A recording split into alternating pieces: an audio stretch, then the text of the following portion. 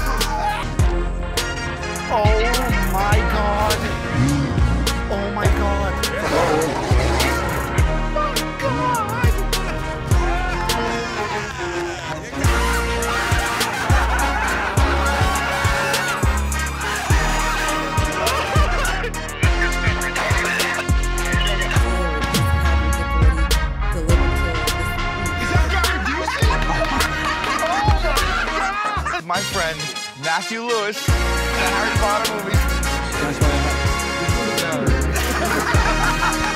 Like, I don't, there's like this, is, is, is, who did the phone? Pickety bam, they get pants by us. Ah,